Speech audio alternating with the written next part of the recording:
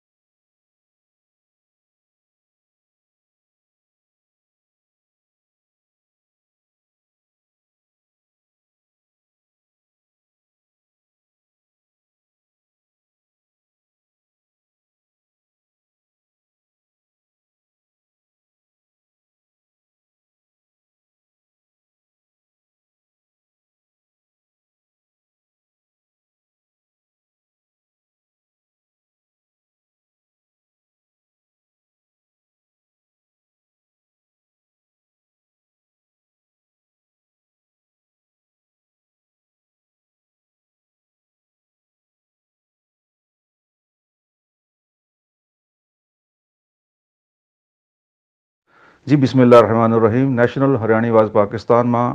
گجران والا تے میں ہوں رانا اورنگزیب۔ میرے گل جڑے میرے دوسرے بھائی جن ماں دبئی تے ہیں، رانا مختار احمد اور رانا اکبر علی چوہان۔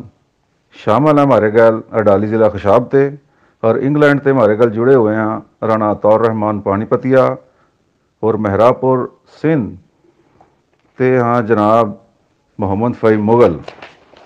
آج کے ہمارے مہمان جناب رانا محمد اسلم ایڈوکیٹ، ماہر قانون، سینئر وائس چیئرمین نورا تنظیم پاکستان۔ جی رانا اسلم بھائی، آپ پہلے تو اپنے بارے میں بتاؤ کہ تھارا پچھلا گام، تحصیل اور ضلع کون سا تھا؟ اور پاکستان میں اس وقت آپ کہاں بعد ہیں؟ بسم اللہ الرحمن الرحیم۔ جی اورنگزیب بھائی بھائی عطا رحمان مغل صاحب اور بھائی اکبر چوہان بھائی، میں آپ کا بہت مشکور ہوں بھائی کہ آپ لوگوں نے جی میرے جیسے عام آدمی کا بھی انٹرویو کرنا مناسب سمجھا، حالانکہ میں تو کوئی ایسا اہم آدمی نہیں ہوں۔ میں آپ کی محبت ہے، آپ نے حکم فرمایا، میں نے انٹرویو دینا تو بھائی میں تیار ہوں۔ گزارش یہ ہے جی میرے جو بزرگ تھے جی دادا جی وہ ریاض پٹیالے کا ایک گاؤں ہے جی پباڑا، اور فیام میں پباڑا کہتے ہیں۔ وہاں سے ہجرت کر کے یہاں آئے تھے جی۔ اور یہاں مظفر گڑھ ڈسٹرکٹ میں ایک تحصیل کوٹدو میں ایک گاؤں ہے، چھوٹا سا بدھ۔ وہاں زمین الاٹ ہوئی تھی اور وہیں ریاض پہ جزیر ہو گئے تھے بھائی۔ اور دوسرا اورنگزیب بھائی، بس پھر میں آج کل البتہ میں کوٹبدو رہا کچھ عرصہ آج کل میں ملتان رہائش پذیر ہوں جی یہ میری مختصر سی جی ماشاءاللہ آپ ایک سینئر قانون دان ہیں اور پیشے کے لحاظ آپ وکیل ہیں ہم نے اپنی ابتدائی تعلیم کہاں تے حاصل کی اور آپ کے والد محترم کیا کرا کریں تھے جی اورنگزیب بھائی ہاں جی میرے ابا جی جی بیلوں کے ساتھ ہل چلا کے کھیتی باڑی کرے کرا تھے بھائی اور ہمارا وہی جو بائی پیشہ تھا، سارے وہی کرے کرا تھے۔ البتہ میرے تایا جی پٹواری تھے، ایک چاچا جی جو ہیں اسکول ماسٹر تھے، ایک پھپھا جی ماسٹر تھے۔ تو میں نے ابتدائی تعلیم بھی اسی گاؤں موضع بدھ کے ایک مڈل سکول تھا مڈل سکول بدھ۔ آج کل تو وہ ایف اے تک بن گیا ہے، ہائر سیکنڈری۔ وہاں سے میں نے مڈل کیا تھا بھائی؟ اور یہ ٹنور میرا مڈل جو ہے وہ چھہتر میں میں نے مڈل کیا تھا وہاں۔ آپ تعلیم کے گیل گیل کیا غیر نصابی سرگرمیاں ماں بھی حصہ لیا کریں تھے اور تھاری پسندیدہ غیر نصابی سرگرمی کون سی تھی؟ جی اورنگزیب بھائی میں نے وہ مڈل تک کی تعلیم آپ کو بتائی تھی۔ اس کے بعد میں جی میرے تایا جی کوٹدو رہا تھے، میری ایک سسٹر کی بھی کوٹدو شادی ہوئی ہوئی تھی۔ میں میٹرک اور ایف ایس ایف اے میں نے جو ہے نا جی وہاں کوٹدو سے کی، کوٹدو سٹی سے نا۔ گورنمنٹ ہائی اسکول کوٹدو میں میں نے میٹرک کی اور گورنمنٹ کالج سے میں نے ایف اے کیا۔ اس وقت تک وہ ایف ہی تھا۔ تو میٹرک اور ایف اے میں جو میری باقی ایکٹیویٹیز تھی نا جی ان میں میری تقریری مقابلے میں میں بہت ذوق شوق سے دلچسپی لیے کروں تھا۔ اور یا بس کھیل دیکھنے کی حد تک باقی کوئی اتنی زیادہ ایکٹیویٹیز کا وہ نہیں تھا۔ جی رانا سلم بھائی ٹھیک ہو گیا۔ آپ نے قانون کا پیشہ ہی کیوں چنیا؟ جی اورنگ بھائی بس جو آپ نے پتہ ہی ابھی راجپوت اور زمین کا معاملہ تھا۔ تو یہاں جب ہم آئے، جس گاؤں میں ہمیں زمین الاٹ ہوئی نا بھائی جی تو وہاں راجپوتوں کے بمشکل دو تین گھر ہیں اور کچھ دوسرے مہاجر تھے۔ تو وہ کچھ زمینیں دادا جی کو یہاں لاٹ ہوئی نا جو، تو اس کی مقدمہ بازی اور کوئی مطلب اس طرح کے معاملات بھی ماننے کے ان کے سروے تو دسویں میں مجھے دادا جی نے پہلی دفعہ احساس دلایا، یار، آپ کو وکیل ہونا چاہیے۔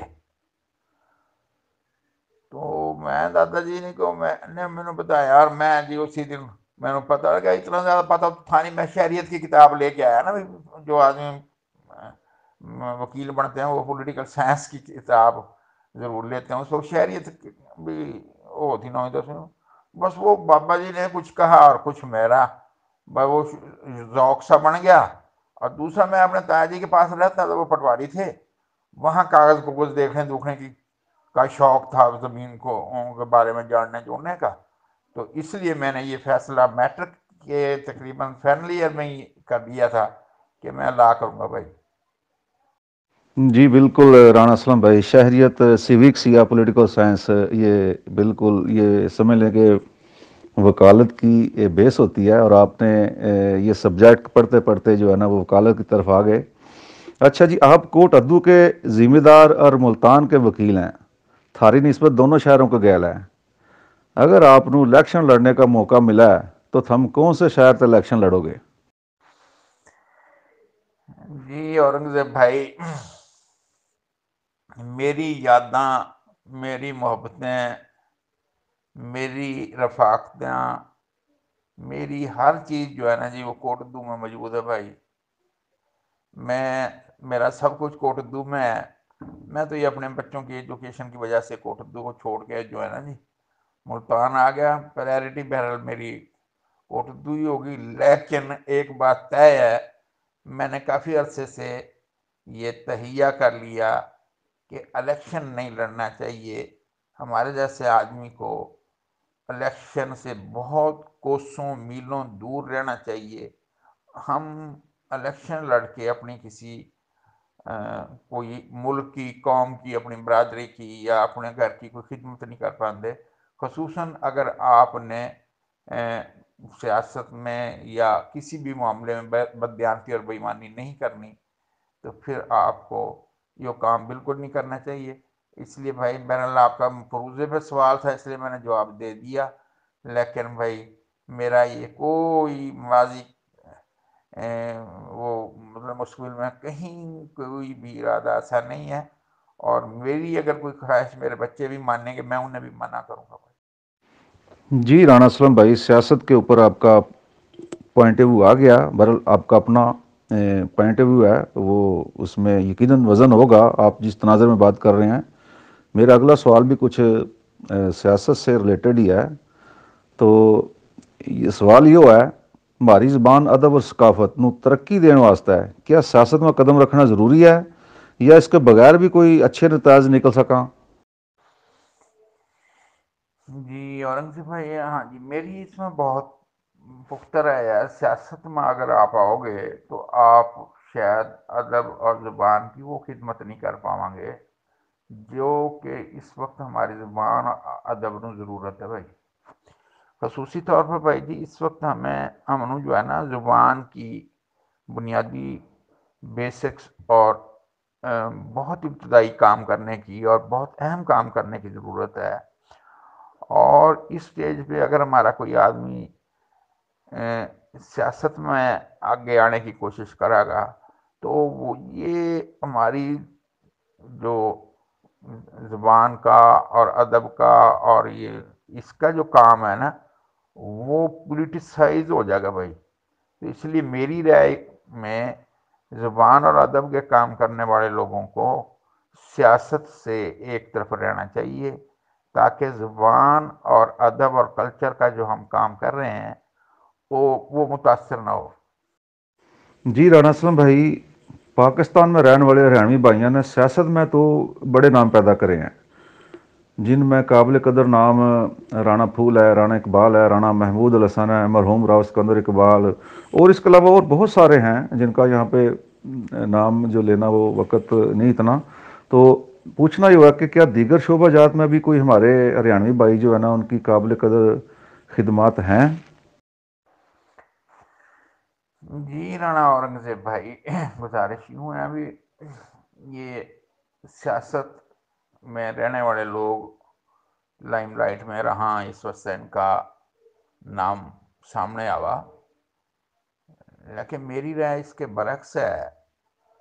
ہریانویوں نے پاکستان میں آ کے جتنے بھی شعبے ہیں، اور میں یہ مکمل دعوے سے کہنے کے لیے تیار ہوں کہ ہر شعبے میں جو سب سے زیادہ خدمت کسی کی ہے اور کوئی ٹاپ ون پہ ہے تو وہ ہریانوی ہی ہیں۔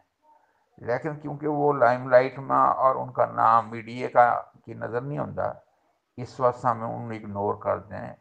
بلکہ اگر آپ غور سے دیکھیں گے، پاکستان بڑھنے کے بعد آپ کا جو بیوروکریسی کا اور باقی پورے نظام تھے ان کو سنبھالنے والے بھی وہی لوگ تھے جو ہریانہ یا پنجاب سے یا انڈیا سے مائگرو ہو کے پاکستان میں آئے تھے۔ ان لوگوں نے بہت خدمت کی ہے اور اگر ہم ان کا نام مطلب ڈسکس کرنا شروع کر دیں گے تو شاید آپ ہمیں کئی دن، لگیں گے ان کو ڈسکس کر دے کر جی اورنگزیب بھائی، ویسے تو میں اور بھی بہت سے نام شعبوں کے علیحدہ بھی لے سکوں۔ آپ صرف لائم لائٹ کا دوسرا وہ جو ہے، یہ ہمارا کرکٹ ہے، اس میں آپ دیکھ لیں جوید میاں دان جوید میاں داد، معین، راشد لطیف، امام الحق اور بے شمار ایسے لوگ ہیں۔ اور اپنے مطلب ہے رانا شبیر اور یہ اب نیا چھوکرا کھیل رہا ہے، وہ تور اپنا پتوں کی والا اشرف۔ تو یہ سارے لوگ اتنے ہیں کہ ہم ان کی گنتی سے زیادہ ہیں بھائی۔ اس لیے ہر شعبے میں، کسی شعبے میں بھی آپ کہو گے، میں اس کو آپ کی بات کرنے کے لیے بتا، ان کا نام لینے کے لیے ہمارے پاس ٹائم نہیں رہے گا شاید۔ شہر و شہری کی دنیا میں اگر جمیل الدین علی اور ناصر کاظمی میں صرف یہ دو نام لے دوں تو میرے خیال میں پوری کی پوری مطلب اردو ادب یہاں ان کے مقابلے کا آدمی نہیں لے پائے گا اور باقی میں لسٹ گرنی شروع کر دوں تو ختم ہی نہیں ہوگی۔ جی رانا اسلم بھائی، ماشاءاللہ بہت خوب آپ نے روشنی ڈالی اور ہمارے سننے والے جتنے بھائی ہیں، ان کی جو ہے معلومات میں اپنے اضافہ کیا۔ بالکل صحیح فرما رہے ہیں آپ۔ اچھا رانا اسلم بھائی صبح ملتان کے والے سے ایک سوال آ گیا ہے کہ سوال یہ ہے، اگر صبح ملتان بن جاوے تو اس میں ہمارے ہریانوی بھائیوں کی کتنی تعداد ہوگی؟ اور ہماری ماں بولی، ادب اور ثقافت کے والے تھے کیا فائدہ ہوگا؟ جی اورنگزیب بھائی گزارش یوں ہے کہ ہماری یہاں ایک مخصوص مطلب اندازہ ہے ہمارا۔ کہ اگر ہم ڈیجی خان ڈویژن اور ملتان ڈویژن کی آبادی کو اس تناظر میں دیکھا کہ یہاں کے پرانے لوگ بشندے یعنی سریکی جو یہاں کے یا پہلے کے رہنے والے لوکل لوگ تھے اور غیر مطلب لوکل، تو یہ تعداد تقریباً تقریباً ففٹی ففٹی کے قریب ہے۔ یہ تو تعداد کا سوال ہے۔ باقی سیاست کی بنیاد سے ہریانوی کی زبان اور ادب پہ کوئی فائدہ نہیں ہونا نقصان ہی ہوگا۔ البتہ اگر ہم نے ہریانوی کی بنیاد پہ سیاست کرنے کی کوشش کری تو ہمیں نقصان ہونے کے زیادہ احتمال ہیں۔ سیاست کو، سیاسی جماعتوں کے تناظر میں کرنے کی ضرورت ہے۔ ہریانوی کی بنیاد پر اور غیر ہریانوی کی بنیاد پر سیاست نہیں کرنی چاہیے اور بالکل ہی نہیں کرنی چاہیے اور شاید اس کا سب سے زیادہ نقصان ہوگا اگر کوئی آدمی ہریانوی بنیاد پر سیاست کرے گا تو وہ کامیاب بھی نہیں ہو پائے گا، ہو پاؤ گا۔ اور ہریانوی جو ہے نا جی وہ سیاست میں ان کا اثر و رسوخ کم ہو جائے گا۔ اس لیے سیاست جماعتوں کی بنیاد پہ کرنی چاہیے۔ ہریانوی کی بنیاد پہ نہیں کرنی چاہیے جی بالکل رانا اسلم بھائی آپ کا پوائنٹ آف آ گیا۔ آپ نے اچھی طرح سے اس کے اوپر روشنی ڈالی۔ دیکھنے میں جو بات آئی ہے سامنے کہ ہمارے ہریانوی ادبی بھائی شعر و شاعری میں تو خوب نام پیدا کر رہے ہیں اپنا لیکن نسل نگاری ماں کوئی خاطر خواہ دلچسپی نہ لے رہے۔ اس کی کیا وجہ ہے؟ اورنگ سے بھائی یہ جو تخلیق کار ہے نا جی وہ چاہے شعر ہو، چاہے نثر نگار ہو یا کوئی بھی سلیس لکھنے والا ہو، اس کو اپنی تخلیق لوگوں کو وہ دکھانے کی، بتانے کی، سنانے کی خواہش ہے۔ اس وقت صورتحال یہ ہے، ہریانوی شہری کا تو کچھ کام شروع ہو گیا۔ ہمارے پاس مطلب واٹس ایپ گروپ بن گئے۔ اس میں ہم جیسے ہریانوی مشاعرہ شروع کر دیا اور اس پہ اور بھی کئی انسینٹو دینے شروع کر دیے۔ لیکن اس کے برعکس ہمارے پاس نثر نگاری کا کوئی اس طرح کا باقاعدہ فورم نہیں ہم بنا سکے جس فورم پر ہم اس اس پر کام کریں۔ اور نہ ہی کوئی ایسی ہماری منج نہیں ہے جس پر ہم نثر، نئے نثر نگاروں کی جو ہے نا، وہ حوصلہ افزائی کریں اور یا ان کی تربیت کریں یا ان کو ان کو کچھ سکھائے، بتائے یا اس، ان کی اصلاح کرے، تو اس طرح کا کوئی ہمارے پاس مطلب فورم نہیں بنا پا رہے۔ ہم اگر اس طرح کا کوئی فورم بنا لیں اور اور یا پھر ہماری وہ تحریریں جو نثر نگاری کی ہیں، وہ باقاعدہ کسی رسالے کی زینت بڑھنا شروع ہو جائیں تو پھر ہمارے ان لوگوں میں جو نثر نگاری کے جو کر سکاں، ان میں بھی نثر نگاری کا شوق پیدا ہوگا۔ اس طریقے سے ہی ہم اس نثر نگاری کے معاملے میں آگے بڑھا سکاں۔ جی رانا سلم بھائی ہاں امید کریں گے کہ جس چیز پہ آپ نے یہ روشنی ڈالی ہے، یہ اس کی بھی آئندہ چل کے کمی دور ہو جائے گی۔ سوال یہ ہے، آپ نے نورا تنظیم کا نام تخلیق کریا۔ یعنی وہ کہہ سکا کہ تھم اس نام کے کریٹر ہو۔ آپ نورا تنظیم نو کس تناظر میں دیکھ رہے؟ یہ تنظیم ہماری ماں بولی اور ثقافت نو کس طرح فروغ دے گی؟ جی اورنگزیب بھائی، شکریہ آپ کی نوازش جی۔ جی یہ اللہ پاک نے جی نورا کا لفظ میرے ذہن میں پیدا کیا اور میرے ذہن کے ذریعے اور زبان کے ذریعے یہ لفظ باہر آیا اور آج پورے پاکستان میں نورا کا لفظ جو ہے وہ زبان زد خاص و عام ہو گیا جی۔ یہ اللہ کی طرف سے میرے اوپر بہت بڑا احسان ہے۔ کہ میرے، بنایا ہوا لفظ یا میرا خیال، سوچا ہوا لفظ نورا، وہ ماشاء اللہ تنظیم اتنی بڑی اور پورے پاکستان میں اور ہریانوی ادب زبان کی بنیاد بن گیا اور نشا علامت بن گیا۔ دوسرا جو آپ کے سوال کا حصہ ہے نا بھائی اورنگزیب اس کا کمپیریزن کرنے کی ضرورت ہے، بڑا آسان سا، سوکھا سا کر لانا۔ نورا بڑھنے سے پہلا ہم ہریانوی میں دو چار شعرا تھے جو اپنی علیحدہ علیحدہ اکیلے بیٹھے بیچارے اپنا کلام لکھ لیں تھے، کوئی سنا دیں سنا دیں ہوں گے، کوئی دو چار گانے لکھی گئے ہوں گے۔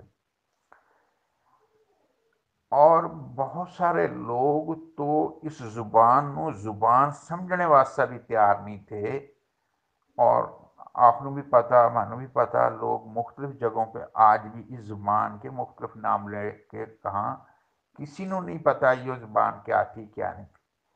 ہری نورا زبان بڑھنے کے بعد لوگوں یہ سمجھ آئی، یہ ایک زبان ہے، ہریانوی کی زبان ہے، اس کا ایک بہت بڑا مقام ہے اور لوگوں کو اس کی بہت زیادہ سمجھ آئی۔ باقی بات میں اگلی کلپ میں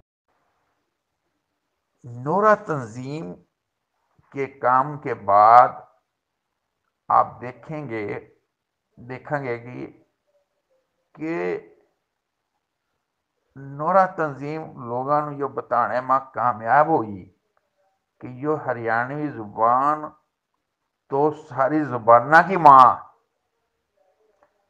مطلب ہے چار ہزار سال پرانی یا پانچ ہزار سال پرانی۔ جو ویدیں ہیں ہندو مذہب کی، ان کا لہجہ بھی ہماری اپنی ہریانی زبان میں ہے۔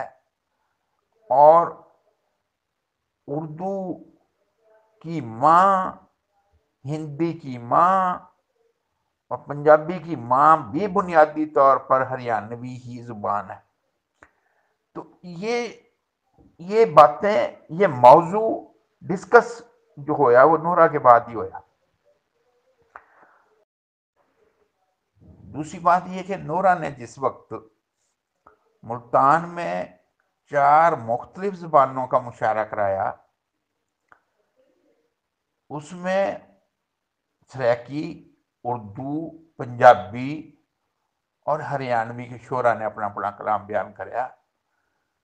تو پہلی دفعہ ہریانوی زبان کا تعارف اس کی ہم اثر جو زبانہ تھی، ان کے ساتھ ہویا۔ اور ان شعرا نے بھی، جو باقی زبانوں کے شعرا تھے، ان میں ہمارے شعرا کا بھی کمپیریزن ہویا۔ اور ہماری زبان کی احساس، اہمیت یا تعارف جو ہے، وہ باقی زبانوں کے شعرا اور ادبی حلقیامہ بہت زیادہ ہویا۔ اور یہ سب کچھ میں سمجھوں کہ نورا کی تنظیم کی وجہ سے ہویا۔ اور آپ بخوبی علم ہے کہ نورا کی تنظیم کے تحت ہی وہ جو پیلوں کا رسالہ تھا، وہاں مخصوص مختص ہوئے اور نورا مطلب ہے صفحات جہاں باقاعدہ جو ہے ہریانہ زبان کی تخلیقات شائع ہوئی۔ اور اب آپ کو یہ بھی پتا ہے کہ نورا زبان نورا کی تن، کوشش ماں کی وجہ سے کئی بچے اور بچیاں جو ہیں وہ ایم فل اور پی ایچ ڈی کی ریسرچ کر رہی ہیں مختلف یونیورسٹیوں پہ ہماری زبان میں۔ تو یہ یہ ایک وہ فرق ہے جو نورا کے بعد ہریانوی کا تاثر یا تعارف ہوئے ہی نورا کے بعد۔ جی رانا سلم بھائی، آپ اپنے آبا و اجداد کی دھرتی ہریانہ کا اپنا گام دیکھنے کی خواہش تو رکھتے ہوں گے۔ اس پر تھوڑی سی روشنی ڈالیے۔ جی اورنگزیب بھائی، گزارش یہ ہے جی ہمارے پاس ہریانہ یا پنجاب سے جو لوگ آئے تھے نا جی ہمارے بزرگوں کے تو وہ تڑپتے تھے اپنے اس دھرتی کو دیکھنے کے لیے اور سب کچھ۔ اور ہمارے جیسی جو نسل ہے، یہ وہ نسل ہے جنہوں نے پنجاب کو اور ہریانہ کو اپنے بزرگوں کی بتائی ہوئی باتوں کے ذریعے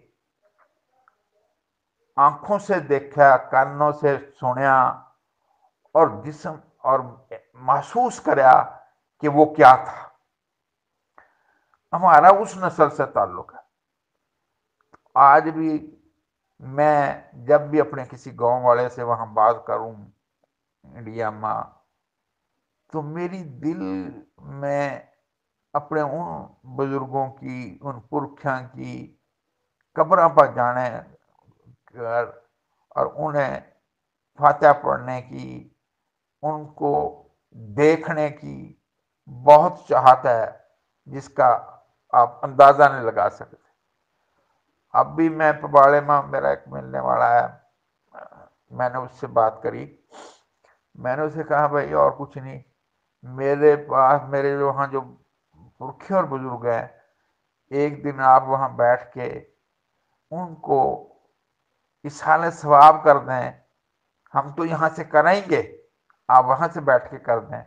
تو بہرحال جی یہ تو بہت ہی دل کے بہت قریب جگہ ہے جی وہ بزرگوں کے گاؤں نہیں بھولتے جی۔ جانے جانے بھی بہت دل کر جی رانا اسلم بھائی، سوال یہ ہوا ہے ہماری نئی جنریشن میں ہریانوی کلچر کم ہوتا جا رہا جبکہ یہی کلچر ہماری اصل پہچان ہے نئی جنریشن کا ہمارے کلچر تے دور ہونے کی کیا وجوہات ہیں یہ بھائی ایک تو یہ کلچر جو ہے نا بھائی یہ وقت کے ساتھ ساتھ ایسا ایسا تبدیل ہو اور یہ اس کا فطری طریقہ کار ہے تبدیل ہونے کا۔ اس میں کوئی روک نہیں سکتا۔ کیونکہ کلچر میں تبدیلی کے بے شمار فیکٹر اور عناصر ہوں، وہ جب اس نو امپیکٹ کرا اس پر اثر پاواں تو یہ کلچر خود بخود تبدیل ہوگا۔ لیکن جہاں تک آپ کے سوال کا تعلق ہے، یہ بات درست ہے ابھی جب ہم وہاں سے آئے تو ہمارے بزرگوں نے وہاں بادشاہت دیکھی ہوئی تھی۔ مالی طور پر بڑے اسودہ حال تھے۔ اور وہاں وہاں ان کے مطلب ہے، سماجی بہت اچھا پوزیشن نہ تھی۔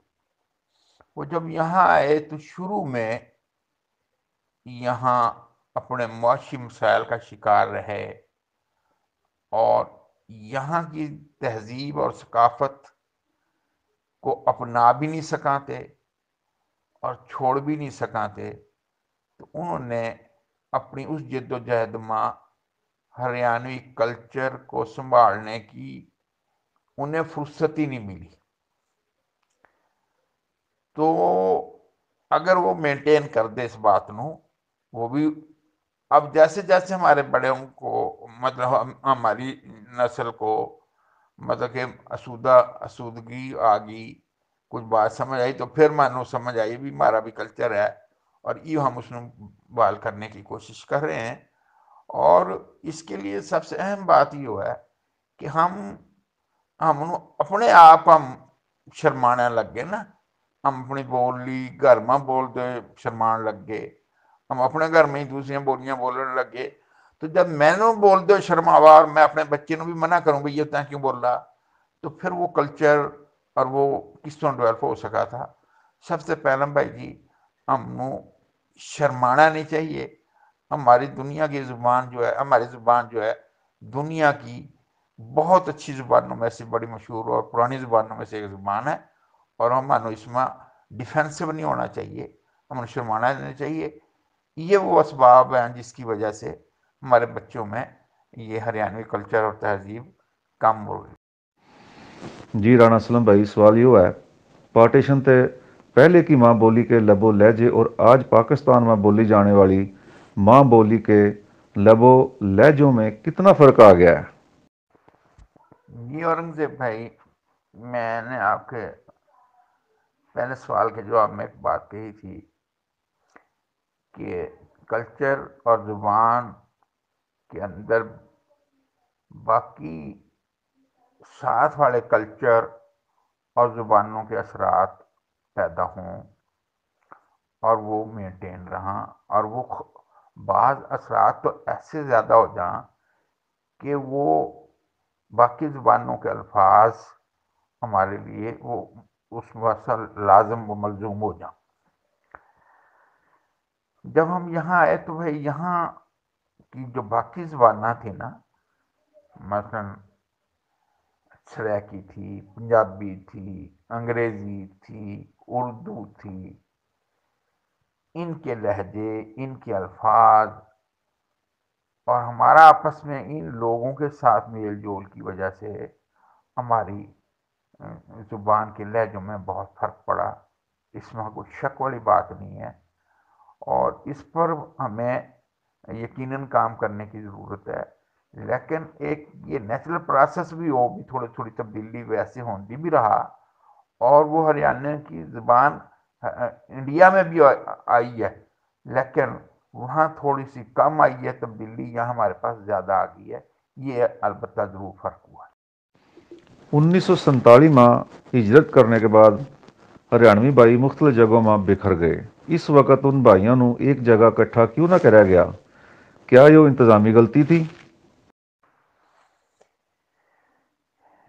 جی اورنگزیب بھائی گزارش یوں ہے بھائی، وہاں سے جو لوگ آئے نا جی یہ کوئی نہ ہی اس وقت کی جو انتظامیہ تھی، ان کے ذہن میں یہ اندازہ ہی نہیں تھا کہ اس بڑے پیمانے پہ جو ہے وہ مائگریشن ہوگی۔ اس لیے اس کے لیے کوئی باقاعدہ پلان یا تیاری نہیں تھی۔ اور دوسرا، عملاً تھوڑا سا مشکل بھی تھا، ضروری نہیں تھا جو اس گاؤں، وہاں سے ایک گاؤں کے لوگ اٹھ کے آئے، وہ کسی ایک ایسے گاؤں میں بٹھا دیے جائیں۔ ضروری نہیں تھی کہ ان کی وہاں زمینیں اور مکان بھی اتنے خالی ہوئے ہوں ہوئے ہوں دے، جو ہمارے یہاں سے تارکین وطن، جو یہاں سے ہمارے نان مسلم انڈیا میں گئے تھے۔ ضروری نہیں وہ وہاں چھوڑ کے گئے ہوں گے۔ البتہ اگر انتظامیہ اس نو مطلب ہے تھوڑی سی سنجیدگی کے لے لیندی، تو کم از کم ڈسٹرک وائز بٹھائے جا سکا تھے۔ گاؤں کے گاؤں تو شاید آپس میں ایک جگہ بٹھانا ممکن نہیں تھا۔ البتہ انتظامیہ اور اس وقت کے جو لوگ تھے، وہ غالباً ذہنی طور پر تیار ہی نہیں تھے کہ یہ مائگریشن اتنے بڑے لیول پر ہوگی۔ اس لیے گاؤں والے نہیں، البتہ ڈسٹرک بیس پہ آبادی آباد کاری کروائی جا سکا تھی اگر وہ اس وقت انتظامیہ دلچسپی لیندی صحیح طور۔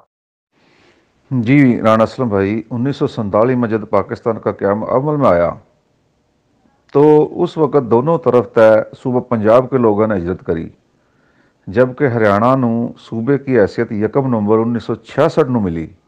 سوال یہ ہوا ہے ہمارے اندر پنجابی اور ہریانوی کا کانسیپٹ کیوں پیدا ہویا؟ جی اورنگزیب بھائی، اگر ہم غور سے دیکھا نا جی بنیادی طور پر اس کے پیچھے بھی پوری ایک تاریخ موجود ہے۔ آپ اگر دیکھیں گے انگریزوں کے آنے سے پہلے، پنجاب اور ہریانہ جو حکومت تھی وہ رنجیت سنگھ اور ہمارے جو سکھ تھے ان کی تھی۔ اور ان سکھوں کی زبان جو ہے وہ پنجابی رہی۔ اور ہریانہ میں جو لوگ ہم یہاں آ گئے تو وہاں اکثریت جو ہے وہ ہندو کی تھی۔ تو جب وہ صوبہ بنیا تو ان کے اندر یہ تفریق تو پہلے سے موجود تھی، یہ مزید گہری ہوگی۔ تو اس لیے یہ فرق وہاں پہلے بھی موجود تھا، ان کے کلچر بھی تھوڑا سا ڈفرینٹ تھا اور ان کے مذہب کا بھی تھوڑا سا ایشو آ گیا اور باقی بھی کئی وجوہات ہیں ایسی، جس کی وجہ سے ان کے درمیان یہ فرق پیدا ہو گیا۔ جی رانا اسلم بھائی اچھا جی پاکستان میں آ کر بسنے والے ہریانوی بھائیوں نو یہاں کے لوکل لوگوں گل ایک قسم کی کوئی طبقاتی قسم کی جو ہے نا کشیدگی کا سامنا کرنا پڑ گیا جس طرح بہت سارے مسائل پیدا ہوئے کیا ای بھی وہ کشیدگی ختم ہو گئی ہے یا ابھی بھی جاری ہے جی رانا اورنگزیب بھائی گزارش یہ ہے بھائی یہ جو کلچر ہے نا جی یہ مذہب سے بھی زیادہ پرانا ہو اور یہ تہذیب اور ثقافت جو ہے، یہ مذہب سے زیادہ پرانی ہے۔ اور یہ تہذیب اور ثقافت تبدیل ہوتے ہوئے بہت عرصہ لے۔ اور یہاں والے لوگوں کی اور ہماری تہذیب میں زمین اسمان کا فرق تھا۔ اور اس لیے یہ کشمکش ایک فطری عمل عمل تھا۔ اور وہ ہوئی۔ البتہ وقت کے ساتھ ساتھ یہ کم ہوتی جائے گی اور اللہ کرے گا اور مزید کم ہو جائے گی۔ بہرحال یہ ایک فطری کام عمل تھا اور امید ہے مزید بھی یہ کم ہوتی جا رہی ہے اور کم ہو جائے گی انشاءاللہ۔ جی رانا اسلم بھائی، ہم یہ چاہو گے کہ سرحد پار رہن والے ہریانوی بھائی مارے گل آپس میں ایک دوسرے ایک دوسرے تے ملاقات کریں۔ مگر یہ کس طرح ممکن ہوگا؟ جی اورنگزیب بھائی۔ دیکھیں، ہمارے واسطہ سب سے اہم بات یہ ہے، ہماری حکومتوں کے درمیان جو سیاسی تنازعات ہیں نا جی ان کی وجہ سے ایک دوسرے کے درمیان غلط فہمیاں پیدا ہوگی جسے انگریزی میں کہا نا پرسیپشن ایک دوسرے کا بگڑ گیا۔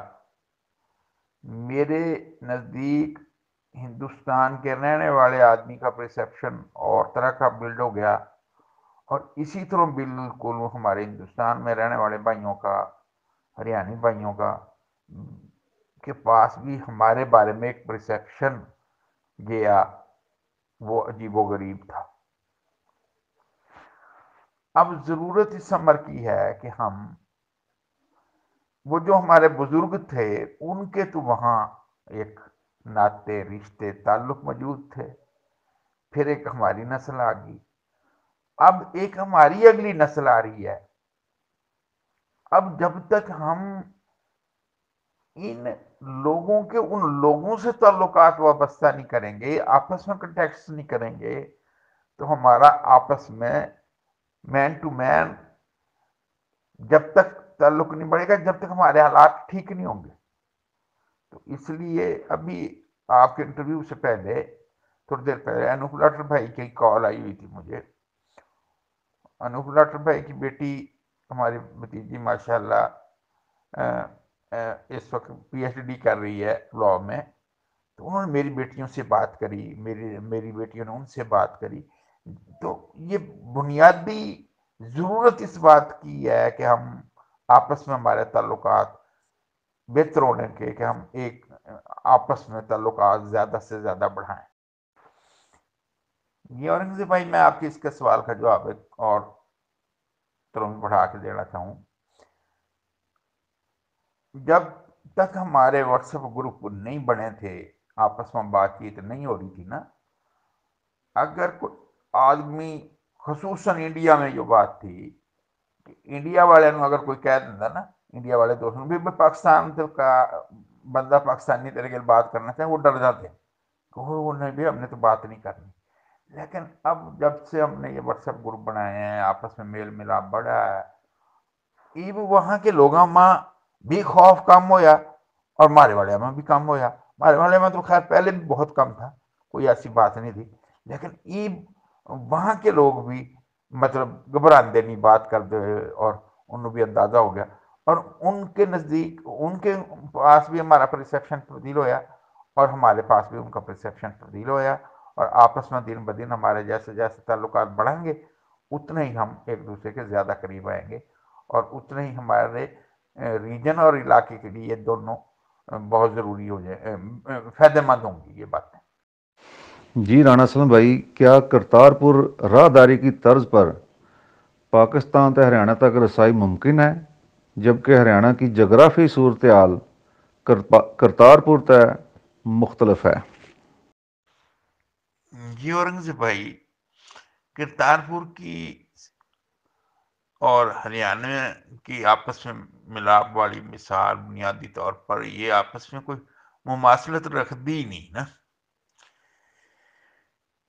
دراصل کرتارپور کے پیچھا ایک تو آپ دیکھو گے نا جی مطلب انٹرنیشنل پریشر موجود ہے کہ ہمارے جو سکھ صحبہ سکھ بھائی ہیں، سکھ بھائیوں کے گرو جی گرو نانک صاحب کا وہ وہ مقام ہے جہاں آپ نے، گرو نانک صاحب نے سب سے زیادہ وقت گزارا اور ان کی آخری وقت بھی، ان کا رحلت کا وقت بھی اسی کرتارپور میں آیا۔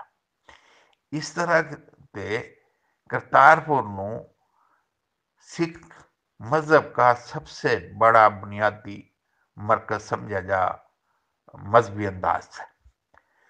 تو اس لیے پوری دنیا میں آپ کو پتہ ہی ہے ابھی جب سے ہمارا یو این بنا ہے، مذہبی آزادی حاصل ہے۔ اس لیے اس کا اس کے ساتھ تقابل اس حوالے سے بھی کوئی ٹھیک نہیں ہے کیونکہ اس کے پیچھے ان کا وہ بہت زیادہ متبرک اور روحانی مقام ہے سردار صاحبان کا۔ ہمارا جو کیس ہے ہریانے والا اور ہمارا، اس میں تھوڑا سا اختلاف، مختلف بہت سارا اختلاف ہے، مختلف ہے۔ مثلا ہمارے وہ بزرگ جنہوں نے جو وہاں سے آئے تھے، ان کی تعداد بہت کم رہ گئی۔ جو چاہا تھا ہمارے بزرگانوں تھی وہاں جانے کی وہ مانو نہیں نہیں ہو سکتی اور شاید ہماری آنے والی نسل کو بالکل ہی نہیں ہو سکتی اس کے بعد والوں کو بالکل ہی نہیں ہونی اچھا ایک اور ایشو ہو گیا کہ ہریانے کے میرے وہ جو دوست ہمارے بڑے ہوں کے وہ جو وہ دوست تھے نا وہ بھی تو نہیں رہے نا یہ اگر جا چلا میں چلا بھی جاؤں میں نے اپنے بڑے ماں بات کری ایک ایک بابا ملا بلونت باقی سارے فوت ہو گئے۔ یہ بابے بلونت سنگھ نے جو ہے نا، پورے مارے بابے نو تو جانا۔ تو مینو تو نہیں جانتا میں وہاں جاؤں گا، میرے واسطے تو اجنبی ہی رہوں گا نا جی۔ اس لیے ہمارا اور ان کا آپس میں یہ کوئی مواصلت بڑھتی نہیں پائی جی۔ البتہ یہ بات اس حد تک ٹھیک ہے کہ ہمیں وہاں ہماری جو ویزوں کی وہ ہے نا جی ملنا انڈیا میں اور پاکستان میں، ہریانے والوں کو کچھ تھوڑی سی پریورٹی ملنی چاہیے، زیادہ ملنے چاہیے تاکہ انہیں بھی وہاں اپنے پرکھوں کی قبروں پہ جانے کی زیادہ سے زیادہ اجازت مل سکے۔ لیکن کوریڈور کا کوئی کنسیپٹ موجود نہیں نظر آتا۔ جی رانا سلم بھائی، دونوں ملکوں کے سیاسی پس منظر میں دیکھا جاوے تو ہریانوی بھائیوں نو کوئی خاص ریلیف ملتا نظر کوئی نہیں آتا تو ایسے میں کون سے اقدامات کرے جا سکاں کہ ہریانوی بھائیوں نو آپس میں روابط پیدا کرنے میں آسانی پیدا ہو سکے؟ یہ اورنگزیب بھائی، یہ درست ہے، ہمارے خطے کی یہ بدقسمتی ہے کہ ہمارے سیاسی معاملات ہمیشہ ہی الجھے رہا اور جس کی وجہ سے ہمیں زیادہ پریشانی رہا۔ اس کا ایک ہی حال ہے بھائی کہ ہم اس ٹیکنالوجی کا فائدہ اٹھاتے ہوئے زیادہ سے زیادہ آپس میں مین ٹو مین فرد کا فرد سے رابطہ جتنا زیادہ بڑھاواں گے نا بھائی، اتنا ہی زیادہ بہتر حالات نکلیں گے۔ سوشل میڈیا کو ہم استعمال میں لے آواں گے۔ اور یہی سوشل میڈیا جو ہے نا، ہماری گورنمنٹوں پر دباؤ قائم کرے گا، جس کی وجہ سے لوگوں کو آنے جانے کی اور ایک دوسرے سے ملنے ملانے کی سہولیات پیدا ہوں گی، انشاءاللہ۔ جی رانا اسلم بھائی، آپ سے آج کا آخری سوال ہے۔ چونکہ آپ تونی راجپوت ہیں، تو اس والے ایک سوال تھا۔ ویسے عجیب اتفاق ہے کہ انٹرویو کرنے والا اور انٹرویو دینے والا دونوں ہی تونی ہیں۔ میں بھی آپ کو معلوم ہے کہ میں بھی تونی راجپوت ہوں۔ تو یہ پوچھنا تھا کہ تونی راجپوتوں کے راجاؤں کے اقتدار کا دائرہ کتنا وسیع تھا؟ ان کے نام طے کون سا شہر آباد ہویا تھا؟ اور ان تونی راجپوتوں نے کس دور میں اسلام قبول کریا تھا؟ جی اورنگزیب بھائی۔ ہاں جی یہ بڑا جی یہ اتفاق ہے جی واقعی میں بھی تونی ہوں جی اور آپ بھی توڑی ہیں جی اس میں کوئی دو آدھا نہیں ہے۔ اور آپ کو بخوبی علم ہے بھی ہم نے ایک توڑی راجپوتوں کا گروپ بنایا ہوا جس میں میں نے کوشش کری ہے بھی پورے پاکستان کے جتنے بھی توڑی ہیں ان میں شامل کرنا۔ اور میرے خیال میں شاید اس وقت جتنے بھی ہریانی گروپ کامیاب چل رہے ہیں، شاید وہ گروپ بھی ان کامیاب گروپوں میں سے ایک گروپ ہے۔ اور وہ بڑا اچھا انداز میں چل رہا ہے، بڑا اچھا لگا۔ تو جہاں تک آپ نے تاریخ کی بات کری اس میں جو انڈین لوگ ہیں، وہ عموماً یوں کہاں بھی یہ مسلمان ہندو جو ہے، مسلمانوں کی کنورشن جو ہوئی ہے ہندوؤں سے مسلمانوں میں، یہ اورنگزیب کے زمانے میں ہوئی ہے۔ تو تاریخی طور پر یہ بات غلط ہے۔ ہمارے پاس بہت شمار شہادتیں ہیں، جس میں آپ، اس میں ایک آپ کے پاس بھی شجرہ نصب ہے۔ میرے پاس بھی شجرہ نصب میرے بزرگوں کا بھی ہے۔ یعنی گئی گزری ہوں تو دس دس نسلیں ایسی ہیں جو مسلمان ہیں۔ تو اس لیے یہ بات کہنا کہ ہمارے بزرگ اورنگزیب کے زمانے میں مسلمان ہو یہ بات غلط ہے۔ ہمارے بزرگ کئی بزرگ تو ایسے ہیں جو بابر کے زمانے میں مسلمان ہوئے ہیں اور کوئی اس سے پہلے بھی ہوئے ہیں۔ اس میں کوئی دوبارہ نہیں ہے۔ جہاں تک آپ نے ٹونی راجپوتوں کا مختصر تاریخ ہی بتا سکوں میں چھوٹی سی۔ ٹونی راجپوت بنیادی طور پر راجہ سال بہان کی اولاد ماتے ہیں۔ راجہ سال بہان صاحب کا جو پوتا تھا، ان کے نام پر راجہ تان ان کے نام پر جو آلین کی تونی وہی مشہور۔ اور ان کی باب تان کی راجہ تان صاحب جو تھے، بابا تان، ان کی آٹھویں پسما جو بابا پیدا ہوا اس کے پندرہ بیٹے تھے کثیر اولاد تھے۔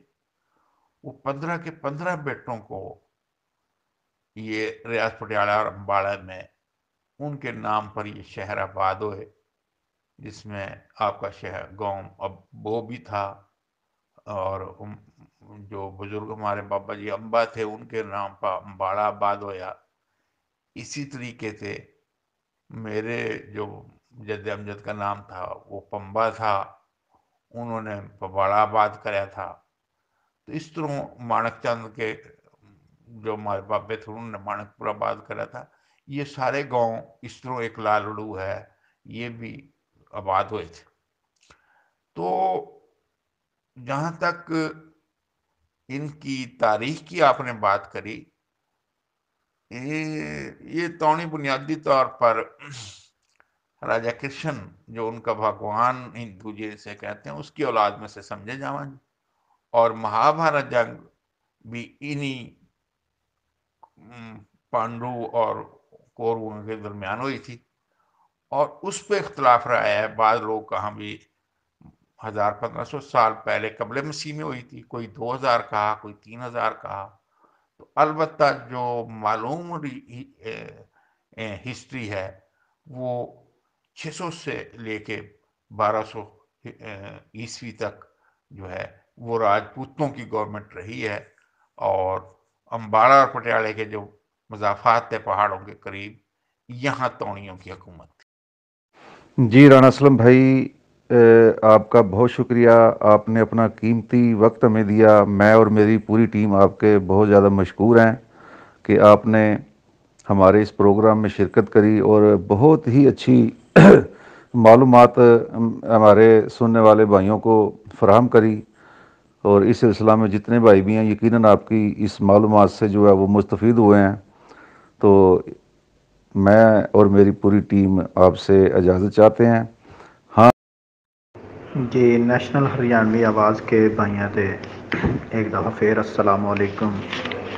اور جتنے بھی گروپ کے اندر بھائی بیٹھے ہیں پاکستان تے بیرون ملک تے امارات تے ان سب کا میں مشکور ہوں، جنہوں نے آج کا انٹرویو سنا بھائی کا۔ اور اس کے بعد میں اورنگزیب بھائی کا بہت مشکور ہوں، جنہوں نے انٹرویو کے اندر بہت محنت کری، بہت ساتھ دیا، بہت اچھے اچھے کویشچن کرے۔ اور خصوصاً اسلم بھائی کا مشکور ہوں، جو اپنے قیمتی وقت مت ٹائم نکال کر انٹرویو انٹرویو کے واسطے تشریف لے آئے۔ اور اس کے بعد جناب، ہم اپنے جناب محمد فہیم مغل صاحب کے بہت مشکور ہیں جو یہ سب انٹرویو ہریانوی پروگرام، مختلف چیزاں ہریانوی سے تعلق رکھنے والی جو یوٹیوب چینل کے اوپر اپلوڈ کرا اور ان کی بڑی محنت، لگن خواہشہ فہیم مغل بھائی کا بھی میں دل کی گہرائیاں تو مشکور ہوں۔ اور انشاءاللہ میرے تے امید آ کہ نیکسٹ پروگرامہ کے اندر بھی سب بھائی انٹرویو میں حصہ بھی لیں گے، سنیں گے بھی۔ سب بھائیاں تو دعاؤں کی اپیل اللہ حافظ۔ جی رانا اورنگزیب بھائی، آپ کا شکریہ بھائی۔ آپ نے مجھے اس لائق سمجھا کہ آپ نے میرا انٹرویو لکھا پوچھا بھائی۔ میں تو بس یوں عام سا آدمی ہوں۔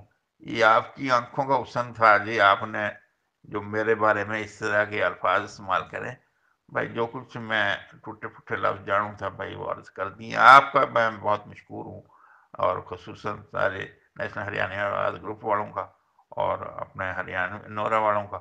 انہوں نے مجھے اس لائق سمجھا کہ مجھے اپنے دوستوں کو اپنے ٹوٹے پھوٹے خیالات بیان کرنے کی تو کہ بتانے جو